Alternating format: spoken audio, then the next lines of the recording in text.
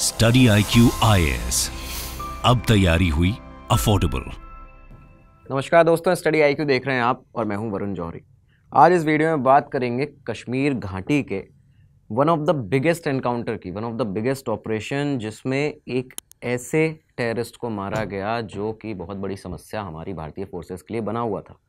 ये वो टेररिस्ट था जो कि एक इक्कीस साल का लड़का था और ये सोशल मीडिया के माध्यम से फ़ेमस हुआ। सोशल मीडिया पे अपने वीडियोस फ़ोटोज़ लगातार डालता था और इसके बाद में हिजबुल मुजाहिदीन का टॉप कमांडर बन गया। टॉप कमांडर बना, साथ ही साथ में उसको पोस्टर बॉय कहा करते थे मिलिटेंसी का कश्मीर के अंदर। हर पोस्टर पे उसका नाम था। कश्मीर के हर घर में हर एक बच्चा बच्चा उसे उसके असली नाम से पहचानता था। इस टेररिस्ट का नाम था बुरहान वानी। बुरहान वानी का एनकाउंटर जब हुआ, जब ये ऑपरेशन हुआ, उसको मार दिया गया। उसके बाद घाटी के क्या हालात हुए, ये भी आज आपको बताने वाले हैं। किस तरह से वो जो प्रोटेस्ट हुए थे, दूसरे सबसे बड़े प्रोटेस्ट उन्हें कहा जाता है, सबसे ज़्यादा तनावपूर्ण माहौल जब घाटी में बना। इसमें करीबन नब्बे लोगों की यहाँ पे डेथ हुई थी, मौत हुई थी इन प्रोटेस्ट में और साथ ही साथ में ये जो कर्फ्यू लगा था, पचास दिनों तक ये कर्फ्यू चला। तो इस तरह के हालात बन गए थे। बुरहान वानी का जो एनकाउंटर है, उसमें आपको जानना ये भी ज़्यादा ज़रूरी है कि हमारी सेनाओं ने, हमारी राष्ट्रीय राइफल्स ने एसओजी ने, जम्मू कश्मीर पुलिस ने कैसे इस पूरे ऑपरेशन को लीड किया था, कैसे जाके इसको अंजाम दिया था हमारे राष्ट्रीय राइफल्स के जो जवान हैं, उन्हें सेना मेडल भी इसके बाद में मिला। तो ये सब कुछ आज आपको बताने वाले हैं और साथ ही साथ एक बहुत ज़रूरी बात जो इस पूरे एनकाउंटर में, इस ऑपरेशन में जुड़ी थी कि आखिर बुरहान वानी की टिप कैसे मिली। कई सारी इसके बारे में थ्योरीज़ बताई जाती हैं कि एक जहाँ उसको मारा गया था, वहाँ पे उस गाँव की एक लोकल महिला थी वहाँ की, जिसने उस घर की खिड़की के बाहर एक लाल कलर का रिबन बाँध दिया था, जिससे कि सिक्योरिटी फोर्सेस को हिंट मिल जाए कि यहाँ पे बुरहान वानी इस घर में छुपा हुआ है। कुछ चीज़ें बताई जाती हैं कि उसके साथ के मिलिटेंट्स ने ही, जो कि पकड़े गए, उन्होंने खबर दी थी उसकी। और कुछ चीज़ें इस तरह की बताई जाती हैं कि उसकी एक गर्लफ्रेंड हुआ करती थी, जिसने बुरहान वानी के धोखे की वजह से उसकी टिप सिक्योरिटी फोर्सेस को दी। तो ये सारी चीज़ें आज आपको बताने वाले हैं, कैसे ऑपरेशन राष्ट्रीय राइफल्स ने किया था आरआर ने, ये भी आपको बताएँगे। यूपीएससी के लिहाज से भी ये बहुत ज़्यादा इंपॉर्टेंट है आपके लिए वीडियो देखना। इंटरनल सिक्योरिटी की बहुत सी चीज़ें आपको यहाँ पता चलने वाली हैं। तो अब शुरुआत करते हैं आज के इस वीडियो की। तो कश्मीर वैली में 1987 से उन्नीस सौ सतासी से मिलिटेंसी जो थी वो शुरू होती है एक तरह से। लोग कहा करते हैं कि अठासी शुरू हुई, लेकिन सतासी से ये चीज़ें शुरू हो चुकी थी वैली के अंदर।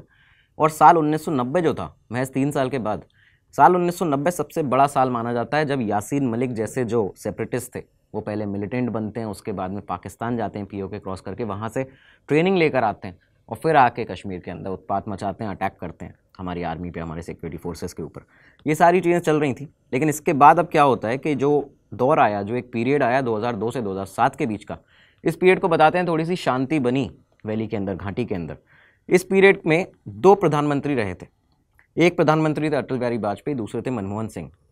पहले ने जो प्रॉमिस किया था अटल बिहारी वाजपेयी ने एक तरह से कश्मीर के अंदर जो कश्मीर डिस्प्यूट था उसको आदर्शवादी तरीक़ों से ह्यूमैनिटी और डेमोक्रेसी के साथ में इसको डील करना चाहा उन्होंने। जो दूसरे प्रधानमंत्री थे उन्होंने कई सारी राउंड टेबल कॉन्फ्रेंसेस की मनमोहन सिंह ने। और इसी के साथ में कई कॉन्फिडेंस बिल्डिंग जो मेजर्स होते हैं उनको भी वो यहाँ पे सामने लाए थे। दोनों ही प्रधानमंत्रियों ने भारत के अटल बिहारी वाजपेयी और मनमोहन सिंह ने अपने टेन्योर के दौरान कई सारे ऐसे आ, मीटिंग्स की थी हुरियत के लीडर्स के में। हुरियत के वो लीडर्स जो कि सेपरेटिस्ट जो लोग हैं, उनको रिप्रेजेंट करते थे। तो हुरियत के लीडर्स के साथ में ये लोग मिले, यहाँ पे चीज़ें सही करने की कोशिश की, लेकिन ऐसा कुछ हो नहीं पाया उतना ज़्यादा। क्योंकि पाकिस्तान के जो टेररिस्ट ऑर्गेनाइजेशंस थी, जिन्होंने पीओके पर कश्मीर के अंदर अपने अलग अलग कैंप्स और बेस बना लिए थे इस समय तक, वो टेररिस्ट ऑर्गेनाइजेशन साथ में उनका जो साथ देते थे, जो सेपरेटिस्ट जो कि भारत विरोधी चीज़ें लगातार कर रहे थे वहाँ पे, साथ में जो इंसर्जेंसी बढ़ रही थी और मिलिटेंट्स लगातार बनते जा रहे थे मिलिटेंट्स पाकिस्तान से भी कश्मीर में एंटर हो रहे थे। इन सब के चलते यहाँ पे कुछ भी सही होने का नाम नहीं ले रहा था और ये चीज़ें थम नहीं रही थी। और इसके बाद होता है 2010 में एक encounter case Machil encounter killings case ये यहाँ पे हुआ, जिसमें, जिसके बाद बहुत बड़े प्रोटेस्ट वैली ने देखे। ये इस तरह से हुआ था कि तीन लड़के थे जो कि मिलिटेंट थे, उनका एनकाउंटर किया गया। फोर्सेज ने कहा कि ये पाकिस्तानी मिलिटेंट्स थे जिनको हमने मारा है यहाँ पे। लेकिन लोगों ने कहा कि ये अन्याय है और ये इनजस्टिस है हम लोगों के साथ क्योंकि वो सिविलियंस थे, वो कोई टेररिस्ट नहीं थे।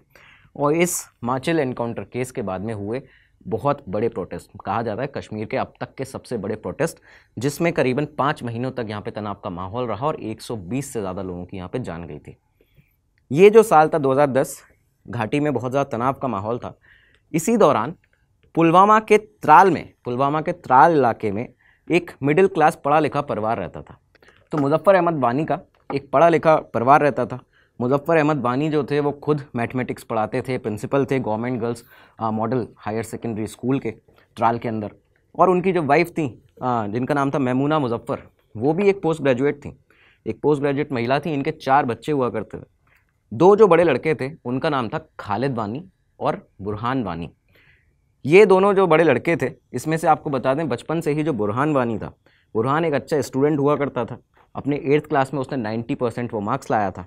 और साथ ही साथ में जो उसका बड़ा भाई था, खालिद खालिद वानी, वो भी एम कॉम डिग्री होल्डर था एम कॉम कर चुका था। लेकिन अब ये वो समय था जब आपको पता है कि घाटी के जो हालात थे 2010 में, सबसे ज़्यादा ख़राब हालात माने जाते हैं। दोस्तों, इस वीडियो में आगे बढ़ने से पहले सिर्फ़ एक ज़रूरी सूचना आपको देना चाहते हैं। इस वीडियो के डिस्क्रिप्शन में जाके आप सारे लिंक्स एक बार ज़रूर देखिए, क्योंकि अगर आप यूपीएससी सिविल सर्विस एग्जामिनेशन की तैयारी कर रहे हैं तो आपको ज़रूर ये लिंक्स देखने चाहिए।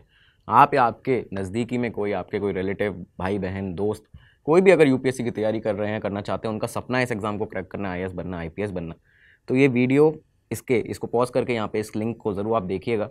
यहाँ पे स्टडी आईक्यू आपके लिए बेस्ट अफोर्डेबल जो कोर्सेज़ हैं, वो लेकर आया है। बेस्ट डिज़ाइन कोर्सेज़ हैं स्ट्रक्चर किया गया आपके लिए बेस्ट स्टडी मटेरियल के साथ में, शानदार फैकल्टीज़ के साथ में। आपको कई सारी क्लासेस मिल जाती हैं और बहुत सी चीज़ें आपको डिटेल्स इसमें दिख जाएँगी। यहाँ पे जाके आपको इन कोर्सेज़ को अफोर्डेबल रेट्स पर भी एक बड़ा डिस्काउंट पाने के लिए क्या करना है? एक बीजे लाइफ कोड लगाना है ये आपका कोड है, इसको आपको याद रखना है। बीजे लाइफ को यहाँ पे लगाते ही आपको जो अफोर्डेबल रेट्स हैं उन पर बहुत बड़ा डिस्काउंट मिलता है और आप अपनी ये जो तैयारी है, जो आपका परिश्रम है, जो आपकी तैयारी है, उसको आप और ज़्यादा मज़बूत बनाते हैं, सफल बनाते हैं। हमारी शुभकामनाएँ आपके साथ हैं। तो अब वापस से चलते हैं अपने वीडियो की तरफ़। ये जो साल था 2010 इसके सितंबर के महीने के आखिरी हफ़्ते में। हुआ क्या कि बुरहान वानी का ये जो परिवार जहाँ रहता था त्राल में, यहाँ पे बताया जाता है कि उनके पड़ोस की ही एक महिला थी जिसकी यहाँ पर मृत्यु हो जाती है। महिला की मृत्यु हुई तो as per the culture Islamic culture और कश्मीरी कल्चर जो है कि तीन दिन तक जो खाना है वो पड़ोसियों के यहाँ से आता है। तो अब जब बुरहान के परिवार का यहाँ पे बारी आई खाना देने की लंच डिनर सर्व करने की उस पड़ोसी महिला को जिनके घर में मृत्यु हुई थी तो यहाँ पे इनके जो पिता थे बुरहान वानी के मुजफ्फ़र इन्होंने अपने बड़े बेटे खालिद को कहा कि आप जाके बाहर से मार्केट से जो भी सामान है वो सब ले आइए। और साथ ही साथ में आप खालिद खालिद से ये भी कहा कि बुरहान को भी लेके आइएगा क्योंकि बुरहान इस समय अपनी नानी के घर पे था, दरसरा में। दरसरा गाँव में वो अपनी नानी के यहाँ पे था जो कि त्राल इलाके में ही आता है। तो उन्होंने कहा कि आप सामान भी ले आइए और बुरहान को भी लेके आइएगा। अब क्योंकि ये जो माहौल था, ये इमरजेंसी का माहौल था उस समय पर लगातार कर्फ्यू भी लगा हुआ था साथ ही साथ में। फोर्सेज भी बहुत सारी तैनात थी, प्रोटेस्टर्स भी रोड पर थे। तो पत्थरबाजी भी लगातार चल रही थी कश्मीर के अंदर, तनावपूर्ण माहौल था। खालिद सारा सामान लेता है, उसके बाद में बुरहान को भी लेके आता है। और जब ये लोग वापस आ रहे थे, तब बताया जाता है कि इन्होंने एक सुरक्षित रूट को लेने के लिए, ये एक जगह से जहाँ से वापस आ रहे थे, जिस रोड से, वहाँ पे इनको रोक लिया जाता है सीआरपीएफ के द्वारा। सीआरपीएफ और जम्मू कश्मीर पुलिस एसओजी यहाँ पे तैनात थे। इन्होंने इन लड़कों को रोका, दोनों को, ये अपनी बाइक पर थे। और यहाँ से अब दो बातें बताई जाती हैं। पहली बात ये बताई जाती है कि सीआरपीएफ ने इसलिए इन्हें हमारी फोर्सेज ने रोका था क्योंकि जो खालिद था, उसके बारे में खबर ये थी सिक्योरिटी फोर्सेस के पास में कि खालिद जब 2010 का ये जो अनरेस्ट चल रहा था, तनाव चल रहा था कश्मीर के अंदर, उस समय पे वो रिक्रूट कर रहा था मिलिटेंट्स को। वो ऐसे लड़कों को रिक्रूट कर रहा था मिलिटेंट्स बनाने के लिए कश्मीर के अंदर तो इसकी वजह से उसको वहाँ पे पकड़ा गया, उसको वहाँ पे इनके साथ मारपीट की गई, उसको अरेस्ट कर लिया गया। ये चीज़ यहाँ पे बताई जाती है। लेकिन अब दूसरी बात जो सामने आती है वो ये बताया जाता है कि सिक्योरिटी फोर्सेज ने जम्मू कश्मीर पुलिस ने जब इन लड़कों को यहाँ पे पकड़ा इन दोनों भाइयों को खालिद वानी और बुरहान वानी को तब इनसे उन लोगों ने कहा सिक्योरिटी फोर्सेस के कुछ जवानों ने कि आप सा, कुछ सामान जो है वो मार्केट से लेकर आ जाइए। क्योंकि ये लोग जो सेना के लोग थे वो लोग उन मार्केट्स में नहीं जा सकते थे वहाँ पे क्योंकि सेना के ही खिलाफ में विरोध प्रदर्शन लगातार चल रहा था। प्रोटेस्टर्स वहाँ पे प्रदर्शन कर रहे थे। तो इन दोनों को यहाँ पे भेजा जाता है। खालिद जितना सामान कहा गया था वो सब लेके आता है, सेना के उन जवानों को देता है।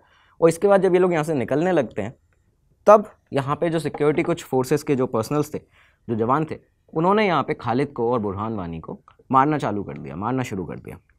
ये बताया जाता है कि जैसे ही ये सब मारपीट शुरू हुई तो बुरहान यहाँ से गाड़ी से, अपनी बाइक से कूद कर भाग निकला। खालिद जो था, वो भी थोड़ी देर बाद, वो भी वहाँ से भागने में हाँ सफल हो गया। इसके बाद खालिद अपने घर पे पहुँचता है। घर पे पहुँचा तो उसके पिता ये बताते हैं कि उसके कपड़े फटे हुए थे, उसको घाव थे इंजरीज थी। और साथ में जब उससे पूछा गया कि बुरहान कहाँ है तो उसको नहीं पता था कि बुरहान कहाँ है, लेकिन इसके बाद उन्होंने अपने जब जो नाना थे बुरहान के, उनके घर पर फ़ोन किया तो उनको ये रिलीफ मिला कि बुरहान जो है वो वापस भाग के अपनी नानी के घर पर वहाँ पर चला गया था। वो वहाँ से बुरहान को वापस लाते हैं, लेकिन इस इंसिडेंट ने बुरहान वानी के माइंड पर, उसके दिमाग पर जो बुरा था, वो असर डाला था। एक काफ़ी बुरा असर उसके दिमाग पर पड़ता है। और इसके बाद में ये बताया जा, बताया जाता है कि जब जब ये लोग खाना खाने घर में साथ में बैठते थे तो बुरहान उस इंसिडेंट को याद करके अक्सर ये कहता था कि अगर मेरे पास उस समय बंदूक होती उस समय मेरे पास अगर गन होती तो मैं उन लोगों को मार देता। इसके बाद जो उसके पिता थे वो अक्सर इस कन्वर्जेशन को वहीं पे ख़त्म कर देते थे टॉपिक को चेंज कर देते थे। लेकिन उसके दिमाग पर एक बहुत गहरा असर अब पड़ चुका था। ये सितंबर की बात है 2010 अगला महीना आता है अक्टूबर। अक्टूबर के अंदर 16 अक्टूबर का वो दिन था 16 अक्टूबर 2010 जब बुरहान अपनी माँ से कहता है कि आप मुझे लंच दे दीजिए, वो लंच करता है। और इसके बाद जल्दी से जल्दी लंच अपना ख़त्म करके अपने कमरे में जाता है। एक बैग में कुछ कपड़े अपने पैक करता है और घर पे ये बता के जाता है कि मैं इन कपड़ों को सिलवा के आ रहा हूँ, उनको ऑल्टर करा के आ रहा हूँ। घर से निकल जाता है और इसके बाद बुरहान मिलता है। अपने एक, उसके दूर का एक रिलेटिव हुआ करता था, आदिल मीर, जो कि उससे उम्र में पाँच साल बड़ा था, करीबन बीस साल की। आदिल मीर की उम्र थी। और पंद्रह साल की 2010 में बुरहान की उम्र थी। तो ये पंद्रह साल का बुरहान बीस साल के अपने कज़न आदिल मीर के साथ यहाँ से निकल जाता है और इसके बाद में ये कभी भी अपने घर वापस नहीं लौटा। दरअसल बुरहान वानी और आदिल मीर ये दोनों ही जो थे, इन्होंने हिजबुल मुजाहिदीन को ज्वाइन कर लिया था।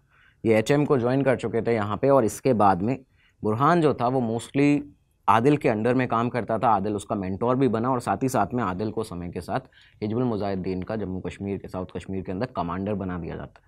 आदिल मीर कमांडर बन जाता है। 2013 की ये बात बताई जाती है जब बुरहान का पहली बार नाम जो था वो सोशल मीडिया पे सामने आया। ये कुछ इस तरह से हुआ था कि एक वीडियो सोशल नेटवर्किंग साइट्स पर बहुत ज़्यादा वायरल हुई। उस वीडियो के अंदर एक टेररिस्ट था एक मिलिटेंट था, एजाज अहमद भट्ट नाम का, जो कि अपना एक वीडियो जारी करता है जहाँ से वो वीडियो सामने आया था कि जब जिस समय वो हमारी सेनाओं के साथ में जंग कर रहा था, वो वहाँ पे लड़ाई कर रहा था और एम्बुश के दौरान उसको गोली लग चुकी थी और तब उसने अपनी एक आखिरी जो उसकी ख्वाहिश थी, जो विश थी वो उस वीडियो में सामने रखी थी, उसने, तब उसने बुरहान का नाम लिया था। उसने कहा कि, बुरहान से कहो, कहना कि मेरे लिए प्रे करे, मेरे लिए दुआ करें। तो यहाँ पे तब बुरहान का नाम सामने आता है इसके बाद ये जो एजाज़ अहमद भट्ट था मिलिटेंट इसको उसी एनकाउंटर में ऑपरेशन में मार दिया जाता है हमारी सेनाओं के द्वारा। इस शख्स को बुरहान भाई के नाम से भी जाना जाता है बाद में, और आरिफ खान के नाम से भी इसी शख्स को जाना जाता है। तो ये जो शख्स था, इसके बाद जब इसकी मौत होती है, बुरहान का नाम पहली बार सामने आता है सोशल मीडिया में फिर क्या होता है, जो बुरहान का मेंटोर हुआ करता था, आदिल आदिल मीर। आदिल मीर को भी अगले ही साल 2014 में एक ऑपरेशन में मार दिया जाता है। आदिल मीर यहाँ से ख़त्म होता है। जो बुरान के परिवार में उसके माता पिता थे, उनको चिंता होने लगती है जब ये खबरें सामने आती हैं कि आदिल के साथ निकला था और आदिल को भी मार दिया गया है। तो उन्हें ये लग रहा था कि क्या बुरहान सर्वाइव कर पाएगा, क्या वो कहाँ है, सही सलामत है या नहीं। लेकिन सडनली सोशल मीडिया पर कुछ ऐसे वीडियोज़ और फ़ोटोज़ आने लगे कि जब बुरहान ने सरप्राइज़ कर दिया था, शॉक कर दिया था पूरे जम्मू कश्मीर को और पूरे सिक्योरिटी फोर्सेस को, जब उसे हिजबुल मुजाहिदीन का यंगेस्ट कमांडर बना दिया गया था। यहाँ पे बुरहान को यंगेस्ट कमांडर बना दिया गया। उस समय तक ये हुआ करता था कि जितने मिलिटेंट्स होते थे, वो या तो अपना नाम बदल कर रहते थे, अपने मुँह जो फेस पर कपड़ा बाँध कर रहते थे, कैमरे के सामने नहीं आते थे। लेकिन इस समय तक ये था कि बुरहान जो था, पहली बार इस तरह से सामने आया, उसने ये पूरा दस्तूर बदल दिया। उसने सबसे पहले अपना जो मास्क था, वो हटाया। अपना एक कवर जो था उसका, वो हटाया। साथ ही साथ में खुद को आइडेंटिफाई किया कैमरे के सामने कि वो कश्मीर के लोगों के बीच का ही एक लड़का है, जो कि त्राल इलाके से आता है। और इसके साथ ही उसने नए नए वीडियोज़ बनाना सोशल मीडिया पर शुरू कर दिया। फ़ोटोज़ डालना शुरू कर दिया। ये क्या करता था कि ये जितने भी कश्मीर के जो लड़के हैं, उनको इनक्रेज करता था कि आप बंदूकें उठाइए, आप असला बारूद उठाइए और सेनाओं के ख़िलाफ़, भारत के ख़िलाफ़ यहाँ पे उतर जाइए, जंग में शामिल हो जाइए हमारे साथ। इसने ऐसे लोगों को रीच करना शुरू किया जो कि लंबे चले आ रहे मिलिट्राइजेशन की वजह से, जिनमें गुस्सा था। उन लोगों को टारगेट करना शुरू किया जो इसके काम आ सकते थे। वो इसी के साथ अपनी सेल्फीज़ अपने वीडियोज़ जो थे, वो अपने हाइड आउट्स के जहाँ जहाँ पे छुपता था उस दौरान। 2013 से 2014 15 तो ये सारे उसने डालना यहाँ पे शुरू कर दिया। इसके साथ कई सारे ऐसे वीडियोस भी आए जब यंग कश्मीरी जो लड़के हैं, उनको मिलिटेंसी ज्वाइन करने के लिए उकसा रहा था। ये सारी चीज़ें सामने आती हैं और बुराना आपको बता दें कि इस समय तक 1990 से, पहला ऐसा मिलिटेंट था लोकल मिलिटेंट जो कि कश्मीर के हर घर के अंदर, बच्चे से लेके बड़ा तक उसको बाय नेम जानता था, उसके असली नाम से, बुरहान वानी के नाम से ट्राल इलाके का लड़का है। इस तरह से वो लोग इसको जानते थे। और जो उसकी स्टोरी थी, वो उन गाँव में त्राल इलाके में, एक तरह से लोगों के लिए ऐसी स्टोरी बन गई कि वो लोग भी चाहते थे कि हम इस तरह का काम करें आगे। क्योंकि हम कश्मीर को इंडिपेंडेंट कराना चाहते हैं, हम इंडिपेंडेंट कश्मीर की मांग करते हैं। तो एक तरफ़ यहाँ पे बुरान बानी जो था इंडिपेंडेंट कश्मीर की लगातार मांग कर रहा था। अब यहाँ पे क्या होता है कि अचानक से बुरहान बानी ने रिक्रूटमेंट ड्राइव स्टार्ट कर दी। अलग अलग लड़कों को अपने ग्रुप्स में लाना शुरू कर दिया, बुलाना शुरू कर दिया। और इसी के तहत लगातार वीडियोस भी सामने आ रही थी। एक, इसकी फ़ोटोग्राफ सामने आती है, जब कई सारी फ़ोटोग्राफ ऐसी आई कि जब ये मिलिट्री कपड़े पहना हुआ है और मिलिट्री कपड़े पहन के वहाँ पर राइफ़ल्स हैं उनके साथ में उनको लहराता हुआ नज़र आ रहा है। 2014 में ऐसी कुछ वीडियोस सामने आई। जब ये सब सामने आया तो ये कुछ नए लड़कों में जो कश्मीर के लड़के हुआ करते थे उनमें इसकी पॉपुलरिटी जो थी वो बढ़ती गई। और ये बढ़ती हुई पॉपुलरिटी इस तरह से बढ़ी कि लो, जो लोग थे वहाँ के उन्होंने इसको हीरो का दर्जा देना शुरू कर दिया रिवॉल्यूशनरी का दर्जा देना शुरू कर दिया। इसकी तुलना बड़े बड़े रिवॉल्यूशनरी हीरोज़ के साथ में होने लगी। और ये चीज़ें जब हुई तो हमारी सिक्योरिटी फोर्सेस के लिए क्योंकि एक बहुत बड़ा ऐसा एक मुसीबत बन चुका था कि जो कभी उसका, क्योंकि नंबर्स बहुत सारे चेंज करता था लोकेशन किसी को पता नहीं थी अलग अलग जगह छुपता रहता था। तो ये एक ऐसी मुसीबत बन गया था कि सिक्योरिटी फोर्सेस की तरफ़ से उसके सिर पर दस लाख का इनाम रख दिया गया।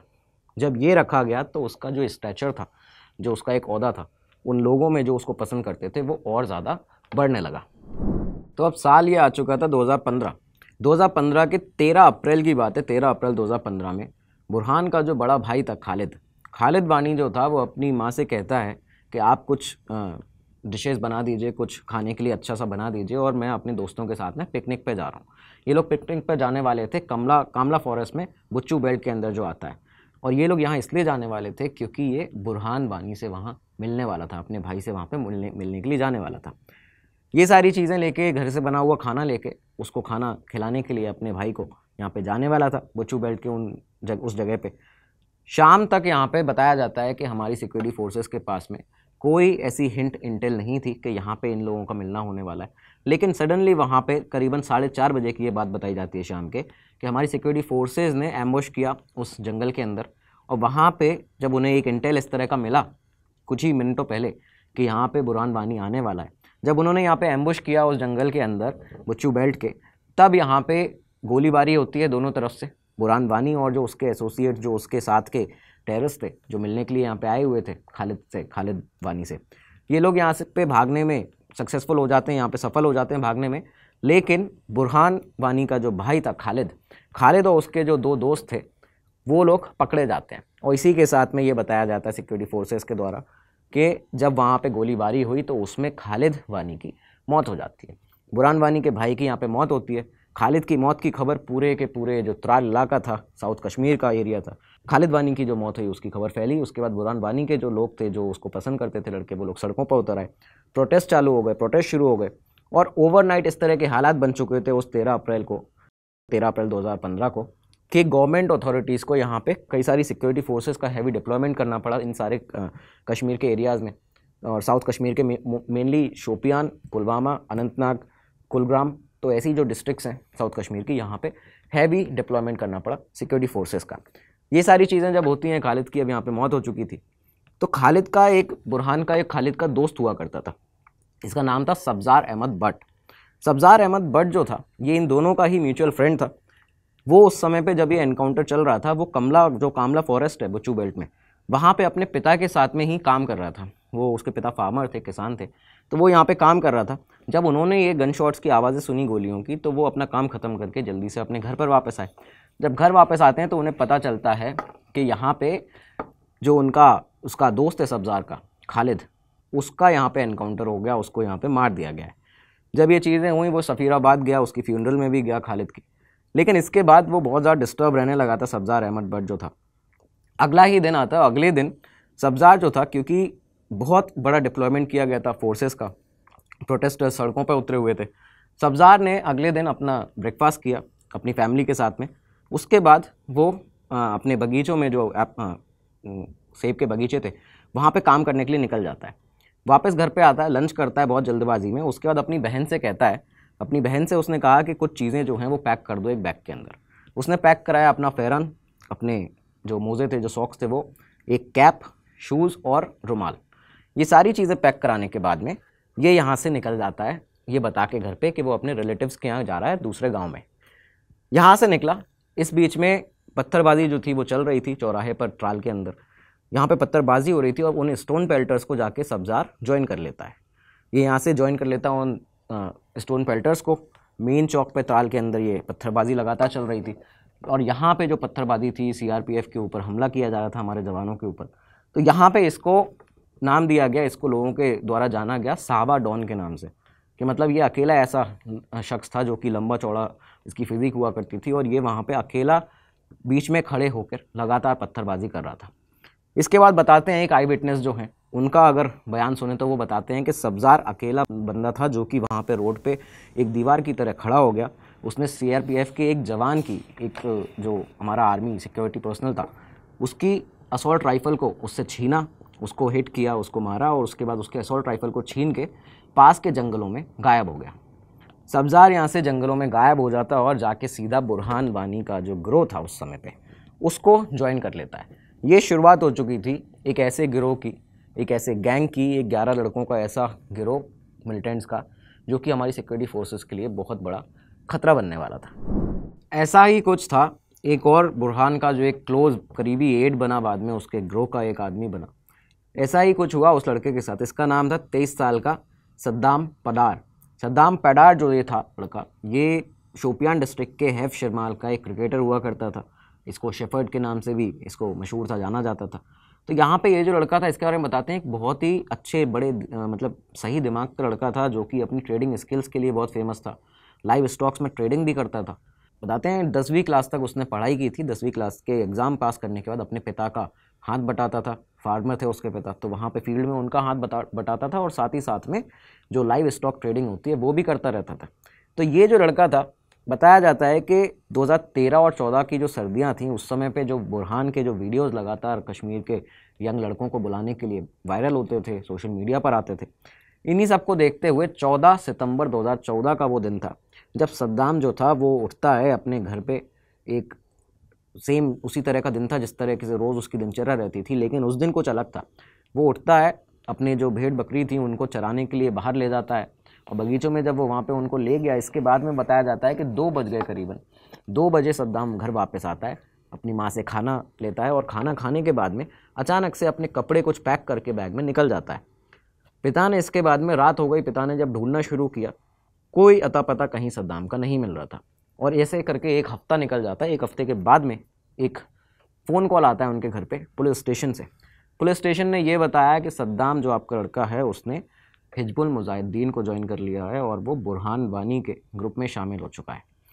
इस तरह की चीज़ें जब सामने आई तो अब आप ये देखिए कि बुरहान का जो ग्रुप था, एक छोटा ग्रुप हुआ करता था, ग्यारह करीबन मिलिटेंट्स उसमें ग्रुप में रहते थे और सारे इसी तरह के लड़के हुआ करते थे। और इन्हीं लड़कों को टैकल करने में जो हमारी सिक्योरिटी फोर्सेस थी गवर्नमेंट फोर्सेस थी, उनको ये बहुत बड़ा चैलेंज साबित होने लगे थे। उस समय पर क्या होता था, इसके पहले जब तक बुरान का गैंग यहाँ पे नहीं था, कि जो भी लोकल रिक्रूटर्स होते थे, जो भी लोकल रिक्रूट होते थे, जिन लड़कों को मिलिटेंट बनाया जाता था, उन्हें पीओके कश्मीर से पाकिस्तान ले जाया जाता था पीओके क्रॉस करके। लेकिन बुरहान के आने के बाद से ये हो गया था कि साउथ कश्मीर के अंदर ही साठ ऐसे लोकल मिलिटेंट्स थे, जिनको वहीं पे ट्रेन किया जा रहा था। ऐसे साठ एक्टिव मिलिटेंट हो गए थे। जिन्हें साउथ कश्मीर के अंदर ही लोकली ट्रेन किया जा रहा था, ये सब बुरहान बानी करवा रहा था। और इसी के साथ में क्या हुआ एक और, इसके बाद कि बुरहान की एक अपील की वीडियो आई। बुरहान लगातार अपनी वीडियोस फ़ोटो सोशल मीडिया पर डालता था। लेकिन सडनली एक वीडियो आती है जिसने उसको यूनिक बना दिया। एक तरह से ऐसा बना दिया कि लोग कहने लगे कि बुरहान बाकी मिलिटेंट से अलग है। उसने उस वीडियो में क्या कहा था? उसने कहा कि अमरनाथ यात्रा जो शुरू होने वाली है, अमरनाथ यात्रियों को या सिविलियंस को हम अटैक नहीं करेंगे, लेकिन जो सिक्योरिटी फोर्सेज वहाँ पर तैनात होंगी इन लोगों की सुरक्षा करने के लिए, वो हमसे बच के रहें। तो यहाँ उसने साफ़ तौर पर अपना ये बता दिया था कि वो उसका जो दुश्मनी है वो सिक्योरिटी फोर्सेस के साथ में है। लेकिन ये बात आम है कि जब गोलीबारी होती है तो गोली किसी को देख के नहीं लगती है। वहाँ पे अगर अमरनाथ यात्रा जो कर रहे हैं यात्री उनकी सिक्योरिटी में हमारे जवान तैनात हैं तो अगर गोलीबारी हुई टेररिस्ट ने वहाँ पे आतंकी हमला किया तो गोलियाँ किसी को भी लग सकती हैं सिविलियंस की डेथ भी वहाँ पे हो सकती थी। तो एक तरह से उसका एक ये वीडियो सामने आया। फिर ये भी चीज़ें देखने को सामने मिली कि बुरहान जो है, वो साउथ कश्मीर के अंदर बहुत ही फ्रीली घूमता था, उसको किसी चीज़ का डर नहीं था। इस तरह का उसने माहौल बना दिया था कि हर बच्चा बच्चा उसको जानता था। कई उसके वीडियो ऐसे आए कि जब वो बच्चों के साथ में एक अनडिस्क्लोज लोकेशन पे क्रिकेट खेल रहा है तो ये सारी चीज़ें सामने आने लगी। और फिर एक महीना करीबन ये जो हुआ था, जब उसका बड़ा भाई जो था, खालिद, उसकी यहाँ पे मौत हुई थी। खालिद की मौत के करीबन एक महीने बाद 2015 में ही बुरहान जो था वो सोशल मीडिया पे पहले से, क्योंकि एक्टिव था फेसबुक और व्हाट्सएप पे भी उसके वीडियोस फ़ोटोज़ आते थे। तो उसने यहाँ पे अपने एक ग्रुप का फ़ोटो डाला, जो करीबन पूरा ग्यारह लोगों का ग्रुप था। उसमें अगर आप फ़ोटो में देखें, ग्यारह लोग हैं उसमें, जिसमें सब्ज़ार भी शामिल है, जो कि बुरहान और खालिद का एक करीबी दोस्त हुआ करता था। तो इन सब्ज़ार के साथ में, बुरहान के साथ में दस ऐसे लोग हैं, जो कि मिलिट्री कपड़ों में हैं। साथ ही साथ में असॉल्ट राइफल लिए हुए हैं और पोज दे रहे हैं। ये जब फ़ोटो सामने आया, इसके बाद हमारी सिक्योरिटी फोर्सेज कड़ी हो गई, उन्होंने अपना जो एक तहकीकात थी, उस पर ज़ोर दिया। वो इसके बाद तेज़ तरार तौर पर बुरहान की जो इन्वेस्टिगेशन थी, वो शुरू हो जाती है। जब ये फ़ोटो वायरल हुआ तो उसमें सारे जितने लड़के मौजूद थे, उनकी तहकीकात की गई। इनमें से एक और लड़का था, सरताज अहमद शेख नाम का। ये सरताज अहमद शेख जो था, इसके बारे में हमारी सिक्योरिटी फोर्सेस के पास में पहले से जानकारी भी थी। इसके बारे में आपको बता दें कि सरताज अहमद शेख जो था, एक बहुत ही बड़ा लिंक बन सकता था, जितने भी हिजुल मुजाहिदीन के जो टेररिस्ट हैं, जो लीडर्स हैं, पाकिस्तान के अंदर। उनके और साउथ कश्मीर में जितने लोग इसको ऑपरेट कर रहे हैं, उनके बीच में तो इसको सारी चीज़ें पता थी। सरताज अहमद, ये जो शेख था, इसके बारे में आपको बताएँ एलओसी क्रॉस करके साल 2000 में इसने हिजबुल मुजाहिदीन को ज्वाइन किया था, नौ साल करीबन ये मुजफ्फराबाद में रहा, पाकिस्तान के अंदर वहाँ पर ट्रेनिंग ली। और इसके बाद ये वापस से कश्मीर आया था। कश्मीर आया, उसके बाद अनंतनाग के जो चीनी चौक है, वहाँ पे एक मलिक क्लोथ हाउस में सेल्समैन की जॉब करना शुरू कर दिया था। खर्चा चलाना मुश्किल हो रहा था, घर का बताया जाता है कि 2012 में जब बुरहान वानी के वीडियोस वायरल होना शुरू हुई ऑनलाइन उसने अपना प्रमोशन करना शुरू किया, एक तरह से पीआर करना शुरू किया, तब ये वापस से इसको सिक्योरिटी फोर्सेस के पास लाया गया, जो सरताज था, उसको एक तरह से अंडर कवर एजेंट बनाने के लिए, क्योंकि ये पहले से हिजबुल में रह चुका था तो वहाँ पे इसको दोबारा से भेजा जाए, बुरहान की खबरें निकाली जाएँ। तो इसके चलते यहाँ पे इसे एक बार अप्रोच किया जाता है एसओजी के द्वारा स्पेशल ऑपरेशनल जो ग्रुप्स होते हैं उनके द्वारा हमारी फोर्सेस के। उन्होंने इसको अप्रोच किया और उसको कहा कि आप दोबारा से एक बार ये जो हिजबुल मुजाहिदीन उसको ज्वाइन करिए, इस ग्रुप को ज्वाइन करिए और वहाँ से सीक्रेट इन्फॉर्मेशन हमें निकाल के दीजिए। इसको एक बार दोबारा ये चीज़ें कही जाती हैं। अब इस बार ये जो था, वो अंडर कवर एजेंट बन के यहाँ पर जाने वाला था, जो कि पुलिस की मदद करता स्पेशल फोर्सेस की मदद करता। इसको बुरहान वानी के ग्रुप में शामिल भी कर लिया गया और ये उस आतंकवादी ग्रुप में एक अच्छी रैंक पर भी पहुँच चुका था। लेकिन सडनली फिर 2014 में क्या होता है दिसंबर के अंदर, जब ये एक साल करीबन इनके साथ में रहा एस के साथ में इसने काम किया, हमारी फोर्सेस के साथ में। लेकिन 2014 दिसंबर के अंदर ये क्या करता है कि अचानक से एक जगह काम कर रहा था और वहाँ से गायब हो जाता है। सरताज शेख गायब हो गया, सारे कॉन्टैक्ट उसने एसओजी के साथ में, हमारी फोर्सेस के साथ में ख़त्म कर दिए। और इसके बाद ये जो फ़ोटो जब वायरल हुआ था, जब पता चला था कि ये सरताज शेख जो है, वो बुरहान वानी के ग्रुप में वापस से चला गया और पूरी तरह से उसके साथ में काम करने लगा है। तो हमारी फोर्सेस के लिए ये बहुत बड़ी प्रायोरिटी बन गई थी कि सरताज शेख को पकड़ना है सबसे पहले। इसको पकड़ना सबसे ज़्यादा ज़रूरी है क्योंकि हमारे जो काउंटर इंटेलिजेंस ऑपरेशन हैं, जो हमारे काउंटर टेररिज्म ऑपरेशन हैं, उनकी इन्फॉर्मेशन को लीक करेगा, वहाँ पर हमारे लिए बहुत बड़ा एक खतरा बन सकता है। इसके लिए एसओजी ने कई सारी रेड की। बहुत सारी रेड की गई टारगेट करके कि सरताज को पकड़ा जाए सबसे पहले 2015 के शुरुआती दौर में शुरुआती महीनों के अंदर। दो बार रेड उस जगह भी की गई जहाँ पे बमडूरा में आ, कश्मीर के अंदर बमडूरा में कोकरनाग जगह इलाके में फ़ारूक अहमद बानी और नासिर अहमद वानी जो ताज के चाचा हुआ करते थे दोनों इन दोनों का घर था। वहाँ पे भी एसओजी पहले पहुँची लेकिन वहाँ पे भी उन्हें कोई इसमें सफलता नहीं मिली। लेकिन इस बीच एक और चीज़ हुई एक और चीज़ क्या हुई थी कि एक टेररिस्ट था पुलवामा के नेवा का, नेवा पुलवामा का, तारिक पंडित, इसका नाम था। तो तारिक पंडित जो था, इसको पकड़ा जाता है। ये इस लड़के के बारे में आपको बताएँ कि अपना हाई स्कूल कंप्लीट करने के बाद इसने एक खिताब भी जीता था। एक गवर्नमेंट सेंट्रल गवर्नमेंट की स्किल ट्रेनिंग स्कीम हुआ करती थी। उसके, इस, इसमें ये सिलेक्ट होता है इसको सिलेक्ट होने के बाद में हैदराबाद में कॉफ़ी शॉप में इसको काम करने का मौका मिलता है वहाँ पे जाके काम करता है। इसके बाद 2014 के जो फ्लड्स आए तो वापस से कश्मीर आ जाता है। कश्मीर में क्योंकि कॉफ़ी शॉप वो उस इलाके में, वहाँ पे उसमें कोई ऐसी खास कॉफ़ी शॉप नहीं थी तो वहाँ पे काम नहीं कर पाया। तो ये ट्रक ड्राइवर बन जाता है। अब ये जो तारिक है तारिक पंडित था, ये वापस आता है यहाँ से। वो इसी के साथ अब ये जब काम करना शुरू कर चुका था ट्रक ड्राइवर का। 2015 में बुरान वानी के उन्हीं वीडियोस के बाद जब उसने लोगों को बुलाना शुरू किया कि आप मिलिटेंसी ज्वाइन करिए, हथियार उठाइए इंडिपेंडेंट कश्मीर के लिए, भारत सरकार और ये इन फोर्सेस के खिलाफ। तो मार्च 2015 में तारिक पंडित जो, जो जो था उसने हिजबुल मुजाहिदीन को ज्वाइन कर लिया। पुलिस के लिए अब ये तारिक पंडित जो था इसकी जो अरेस्ट हुआ था अचानक से इसको पकड़ा गया था 2015 में जब तो ये एक बड़ी सफलता थी क्योंकि तारिक को सारी नॉलेज थी बुरहान वानी के उस ग्रुप में वो बहुत समय से शामिल हो चुका था उसी दौरान और उसको नॉलेज थी उसके पूरे नेटवर्क की कि उसके एसोसिएट्स साउथ कश्मीर में कहाँ कहाँ है वो कहाँ कहाँ आता जाता है। अब यहाँ पे आप ये चीज़ देखिएगा हमारी फोर्सेस सरताज शेख जो है जो एक टेररिस्ट है, जो कि पहले पुलिस के लिए काम करता है, फोर्सेस के लिए, बाद में हिजबुल मुजाहिदीन और बुरान वानी के ग्रुप में शामिल हो गया। हमारी फोर्सेस, उसको पकड़ना सबसे पहले उनकी टॉप प्रायोरिटी थी कि उसको पकड़ना है। तारिक यहाँ पे हमारी गिरफ्त में आ चुका था। और इसके बाद अब यहाँ पे कई सारी अलग अलग थ्योरीज आ जाती हैं कि आखिर में बुरान वानी की अब जो टिप मिलने वाली थी, वो आखिर टिप दी किसने? वो टिप तारिक ने दी या किसी और ने दी? तो इसकी कई सारी थ्योरीज हैं, उन पर ही बात करते हैं। एक थ्योरी इस तरह की बताई जाती है कि सेना के जो सूत्र थे सेना के जो सोर्सेज थे, उनके मुताबिक ये कहना है कि एक तरह से बुरहान की एक गर्लफ्रेंड हुआ करती थी, एक उसकी प्रेमिका हुआ करती थी। और बुरहान का ये तरीका था कि वो एक नंबर कभी नहीं रखता था, करीबन 500 सिम थी उसके पास और समय समय पर अपने नंबर जो चेंज करता रहता था। उन नंबरों से वो कई सारी और लड़कियों से भी बातचीत करता था। तो ये चीज़ उसकी एक गर्लफ्रेंड को पता चल चुकी थी और उस लड़की ने बदला लेने के लिए खुद से जाके पुलिस को, जम्मू कश्मीर पुलिस को इन्फॉर्म किया कि बुरहान वानी इस जगह पे, इस समय, इस लोकेशन पर आने वाला है। तो ये चीज़ यहाँ पे सामने आती है, पुलिस ने उसके बाद उस नए नंबर को ट्रैक किया, तब जाके लोकेशन मिली। एक ये थ्योरी बताई जाती है। लेकिन कई और ऐसी थ्योरीज भी सामने आती हैं कि बुरहान वानी की जो खबर है, वो तारक पंडित ने दी थी। ये भी सामने आता है। तो अब यहाँ पे खबर क्या थी? इसके ऊपर आते हैं। पहली इन्फॉर्मेशन जो थी, वो श्रीनगर की इंटेलिजेंस ब्यूरो की जो यूनिट है उसके ऑफ़िस में पहुँचती है सात जुलाई और आठ जुलाई की रात को। इस रात को यहाँ पे जो खबर थी, ये पहुँचती है। खबर आई और जो खबर आई थी, उसको यहाँ पे दोबारा से उसको चेक किया गया, जो उस इलाके में 19 आरआर, राष्ट्रीय राइफल्स की एक यूनिट पोस्टेड थी उनके साथ में।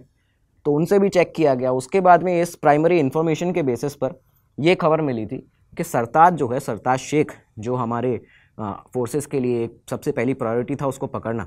तो सरताज शेख जो है, वो अपने अंकल से, अपने चाचा से मिलने के लिए वहीं पे, उसी बमदूरा इलाके में लोकेशन पर वहीं पे ककर कोकरनाग में आने वाला है। और एक खबर थी कि वो यहाँ पे आया हुआ है। दो दिन से वो यहीं पर रह रहा है।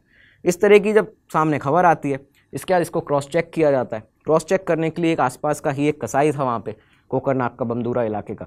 उससे पता किया गया तो ये पुष्टि हुई यहाँ पे कि एक चाचा के यहाँ, ये जो यहाँ पे रहते हैं इसके चाचा, उनके एक दावत थी, एक पार्टी थी और उसके लिए उन्होंने कई सारा मटन जो था उसको ऑर्डर किया हुआ था, मंगवाया हुआ था। और ये भी उस कसाई ने बताया कि कुछ बहुत ही इंपॉर्टेंट उनके यहाँ गेस्ट भी आए हुए हैं, कुछ ऐसे मेहमान भी आए हुए हैं। ये सारी चीज़ें जब सामने आई तो इसी इन्फॉर्मेशन के आधार पे यहाँ पे 8 जुलाई का ये दिन था, जब ये ऑपरेशन जो था उसको किया जाने वाला था। और इसके लिए जो हमारे राष्ट्रीय राइफल्स के जो यंग मेजर थे मेजर संदीप कुमार, उन्होंने अपनी टीम को लीड करना शुरू किया, एक टीम बनाई जाती है, इस एक्शनेबल जो इंटेलिजेंस इनपुट उनको मिला था उसके आधार पर कि सरताज, अज़ीज़ और अपने दो साथियों के साथ में बमडूरा के गाँव में, वहाँ पे कोकरनाग में आने वाला है या आया हुआ है तो वहाँ पे जाके हमें एक्शन लेना है। बमडूरा ये जो जगह है, ये कश्मीर के कोकरनाग में मौजूद है और कोकरनाग में भी ये उस जगह मौजूद है जो पाकिस्तान के इस्लामाबाद से महज 20 किलोमीटर की दूरी पर है। मेन टाउन पाकिस्तान के इस्लामाबाद से या मेन टाउन से यहाँ पे कोई भी मेन रोड कनेक्टेड नहीं है। फोर्सेज और हमारी जो जम्मू कश्मीर पुलिस थी, राष्ट्रीय राइफल्स की यूनिट थी, एसओजी थे, वो यहाँ पे दोपहर में आठ जुलाई को पहुँच जाते हैं। ये यहाँ पहुँचते हैं तो लोकल जो लोग थे, क्योंकि छोटा इलाका है तो लोकल्स के बीच में ये हो गया कि जो आर्मी है वो यहाँ पे क्यों आई हुई है?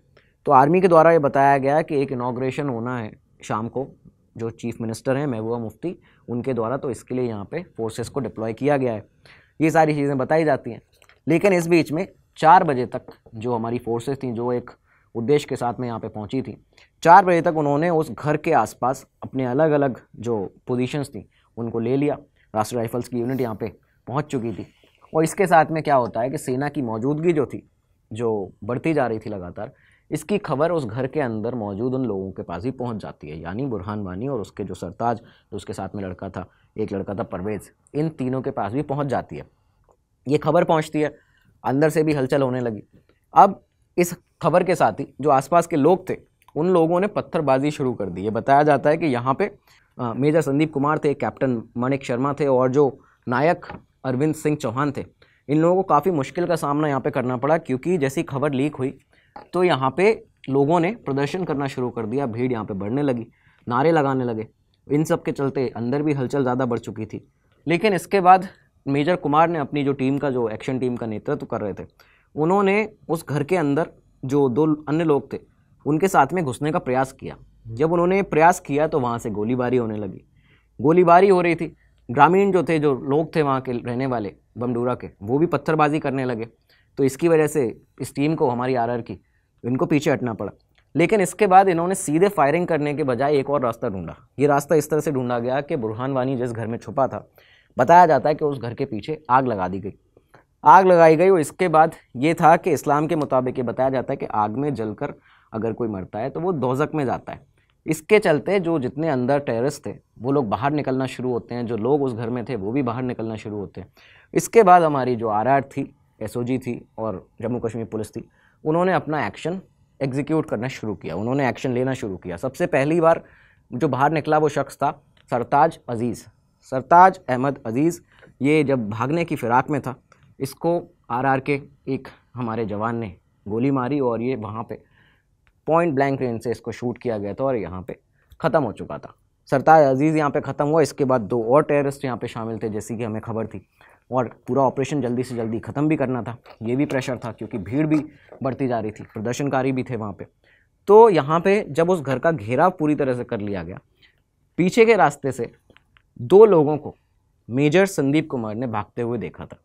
दो लोग थे जिसमें पहला था परवेज़ अहमद लश्करी उसके साथ में एक और व्यक्ति था जिसको एक और लड़के को वो बचाते हुए परवेज़ अहमद लश्करी, जो पीछे बगीचे थे सेब के, वहाँ पे धकेल रहा था, वहाँ पे उसको जल्दी से भगा रहा था। जब ये उन्होंने देखा तो यहाँ पे जो टीम थी, उन्होंने जवाबी कार्रवाई करते हुए लश्करी को सबसे पहले गोली पड़ती है, गोली लगी लश्करी में, उसके बाद में दूसरी गोली जो लगी थी, वो लगी थी एक दूसरे शख्स में जिसको लश्करी बचा रहा था। जो हमारी सिक्योरिटी फोर्सेज ने यहाँ पे जाके देखा कि ये जो तीन डेड बॉडीज़ हैं रिकवर हुई हैं, उनमें कौन कौन लोग हैं? उन्हें जो सूचना मिली थी, एक टिप मिली थी कि सरताज के साथ में यहाँ पे बुरहान बानी भी हो सकता है। ये सही साबित हुई। उन तीन डेड बॉडीज़ में से एक डेड बॉडी ये थी, जो थी बुरहान वानी की। वायरलेस पर अपनी पूरी टीम को ये मैसेज दिया गया कि येस वी गॉट हिम और इसके बाद ये जो शख्स था, जो नीचे धराशायी था, वो था Burhan Wani. Poster boy of Jammu Kashmir poster boy of militancy एक तरह से, जो कि जम्मू कश्मीर की वैली में मिलिटेंसी का एक पोस्टर बॉय बना हुआ था। सोशल मीडिया पर काफ़ी ज़्यादा फ़ेमस था, दस लाख रुपए का उसके ऊपर इनाम था। और हमारी सिक्योरिटी फोर्सेस के लिए समस्या बना हुआ था। उस बुरान वानी को यहाँ पे मार दिया जाता है। अब आप देखिए कि बुरान वानी की जब मृत्यु हुई, जब उसको मारा गया, इसके बाद में कश्मीर के हालात क्या बनना शुरू हुए? सबसे पहली बात, जो गवर्नमेंट थी, जो सरकार थी, चीफ मिनिस्टर थी महबूबा मुफ्ती, डिप्यूटी सीएम जो थे, उनकी तरफ़ से स्टेटमेंट आया कि, ये बयान आया कि हम अवेयर नहीं थे इस ऑपरेशन से, हमें नहीं पता था कि ऑपरेशन होने वाला है। इसके बाद बुरहान के जो पिता थे, उनका एक इंटरव्यू सामने आता है, जिसमें उन्होंने कहा कि बुरहान जो था, वो खुद से मिलिटेंट नहीं बना था, उसको इतना दबाया गया। इंडियन आर्मी के द्वारा, फोर्सेस के द्वारा, भारत की, कि जिसके बाद वो मिलिटेंट यहाँ पे बना। और उसकी डिमांड थी, जो उसका मोटो था, वो था फ्रीडम फ्रॉम इंडिया उसे भारत से फ्रीडम आज़ादी चाहिए थी। और ये सब उसका नहीं, ये सभी का यहाँ पे जो एक मोटो है, वो है, जो सबका उद्देश्य है, वो यही है। और इनफैक्ट मेरा भी यही उद्देश्य है। उन्होंने यहाँ पे इस इंटरव्यू में खुद से कह दिया था ये। इसके साथ ही ये हुआ कि बुरहान की जब मृत्यु हुई तो मौत हुई तो उसके बाद में कश्मीर के अंदर तनाव का माहौल फैलने लगा। और कुछ इस तरह का तनाव था वो कि जिसको कहा जाता है कि 2010 के बाद से सबसे भारी तनाव जब घाटी में फैला है। कुछ इस तरह की चीज़ें हुई यहाँ पे कि कश्मीर का जो श्रीनगर अनंतनाग हाईवे है उसको लोगों ने ब्लॉक कर दिया। जलते हुए टायरों को वहाँ पे फेंकना शुरू कर दिया। स्टोन पेल्टिंग पुलिस के ऊपर, फोर्सेस के ऊपर शुरू हो गई। बुरहान की जो डेड बॉडी उसके घर आई, गाँव आई तो वहाँ पे जब जो लोग जमा थे उनकी तादाद बताई जाती करीबन तीन लाख तीन लाख लोग यहाँ पे जमा हो चुके थे। बॉडी के ऊपर पाकिस्तान का झंडा लगा के उसको ले जाया गया, उसको पाकिस्तान के झंडे में लपेट के। तो ये यहाँ पे एक और चीज़ सामने दिख, दिखती है कि जब बुरहान वानी का मोटो ये बताया जाता है कि उसका मोटो था कि फ्रीडम फ्रॉम इंडिया और हमें इंडिपेंडेंट कश्मीर चाहिए। हमेशा से अपनी वीडियोज़ में जब वो बोलता था कि हमें इंडिपेंडेंट कश्मीर चाहिए तो ये झुकाव पाकिस्तान की तरफ़ क्यों दिखता है?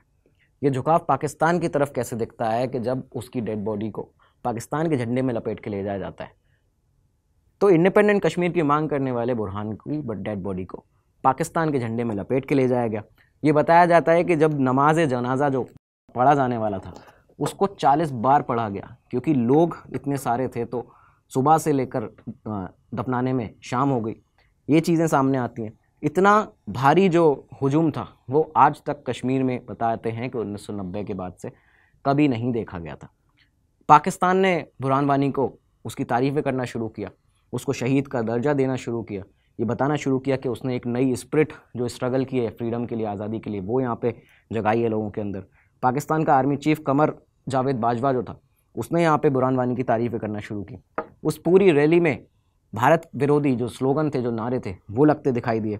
और इन सब चीज़ों से जो इतना जो चीज़ें हो रही थी, उनसे गवर्नमेंट अथॉरिटीज़ इतनी ज़्यादा पैनिक हो चुकी थी कि यहाँ पर कर्फ्यू लगा दिया गया। कर्फ्यू लगता है इक्यावन दिनों तक। 51 डेज़ तक यहाँ पे कर्फ्यू रहा। और इस बीच में जो आ, प्रोटेस्ट हुए उसमें 91 लोगों की मौत हुई। इक्यानवे लोगों की यहाँ पे मौत होती है। बताते हैं बारह हज़ार लोग करीबन घायल हुए जिनमें सिविलियंस भी शामिल थे। पुलिस फोर्सेस के लोग थे सिक्योरिटी पर्सनल्स थे। ये सारी चीज़ें यहाँ पे होती हैं। जो भी कारोबार था कामकाज था वो एकदम शांत हो चुका था। कोई कामकाज नहीं हो पा रहा था।